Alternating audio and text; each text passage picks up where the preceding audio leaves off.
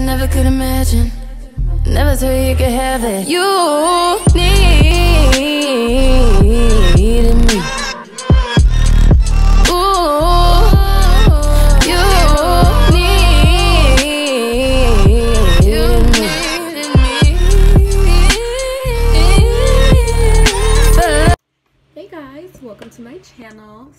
Today's video is about how to level up and boss up your life during quarantine. You know, give yourself a little bit of a quarantine glow up. And in this video, I'm gonna give you five of my top tips on how to do that. So let's get right into the video.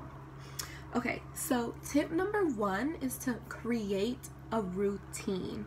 Okay, and this isn't just like wake up, you know, roll out of bed and stay in the same pajamas that you've been in for three days and just kind of do whatever. No, that is not a routine. Like during this time, like it's okay to be lazy a little bit and to be laid back, but what's really gonna help you kind of like if you're going through it and you're in this quarantine funk, cabin fever, is to create a routine for yourself, whatever that may look like for you but make sure that it's structured and scheduled. So let's say you have those little online Zoom classes that you have to do. Make sure you center your day around those classes so that way you're still getting up and you're still getting things done. And oftentimes you see people on social media being like, oh, like you have to be productive and you know, you need to come out of this quarantine having like accomplished something crazy. But that's not all true. But you do need to create somewhat of a schedule for yourself. Schedule in when you're gonna take a nap, take a break from your classes, schedule in when you're gonna eat because sometimes we're just opening up that fridge because we're bored and we have literally nothing else to do during this quarantine. So make that schedule scheduling your breakfast, scheduling your lunch, snacks, dinners, whatever you have to do so that way you feel like there's some kind of structure to your day, especially if you're a college student because we got used to having so much structure throughout our days and waking up, going to classes, eating out with friends and we don't have that anymore. So make sure you stick to a routine.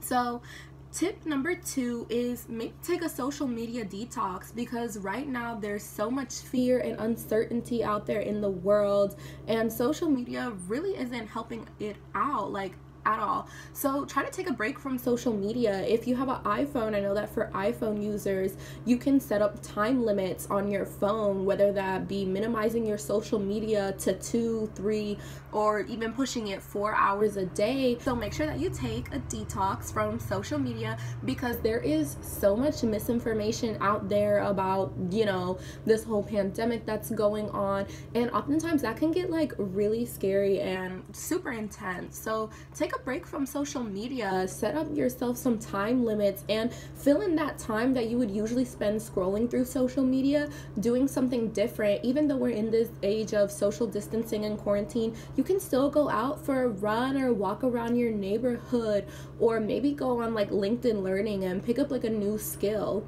But definitely take a detox. So, tip number three is working out. And I know you guys might hate me for saying that, but it's true. You can fill in your time by working out and there's plenty of ways to do it because I was one of those people who I was go to the gym on campus literally every single day. And then I thought to myself, oh my gosh, like what am I gonna do? The gym is closed. And then I remembered there's so many free resources online. You have YouTube, you have Nike Training Club, and some of my, like my favorite YouTubers like Blogilates as well. Like they're amazing resources for quick, free, and easy workouts. So definitely incorporate working out into your routine so that way you get active, especially for my college students because we're used to walking around to try to get to our classes and being on campus and we don't realize how much we're actually moving around until that whole routine gets stripped away from us. So I definitely recommend working out. Nike Training Club's premium is actually free right now because of the quarantine. So 10 out of 10, you should go and check that out.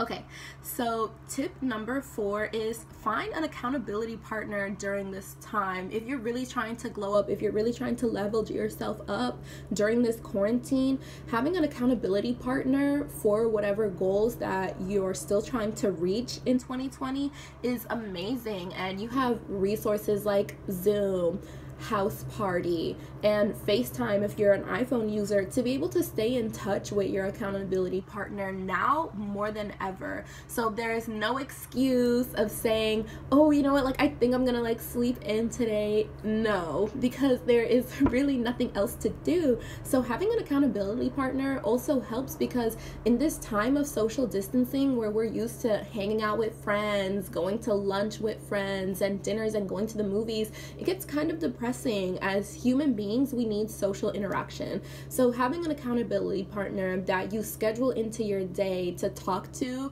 and to go over your goals will really help keep you motivated and keep you sane during this time. Now, tip number five is honestly the most important tip, and that's finding time for self care. Because we're honestly getting used to being in our pajamas and our sweatpants all day, seven days a week, 24 7.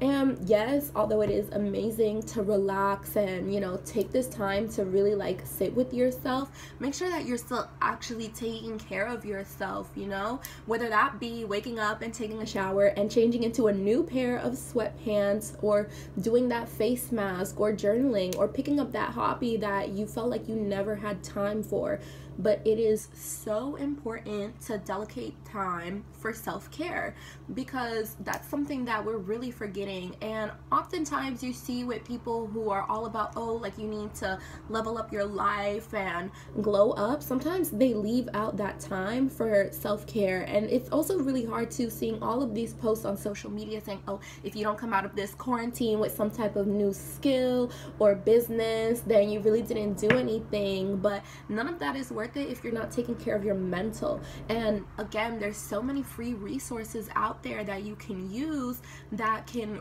really like help you in that process of self-care. So apps like Headspace or Stop Breathe Think are amazing apps for meditation. And there's so many free guided meditations online on YouTube that you can use as a resource. And really make sure that you dedicate at least an hour a day of self-care.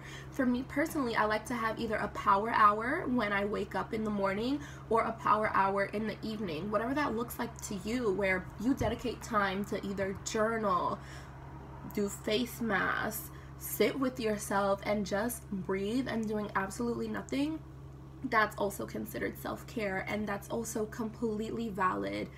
And that's all I have for the video today. I hope you guys liked it. Please hit the subscribe button and like if you want to see more videos like this.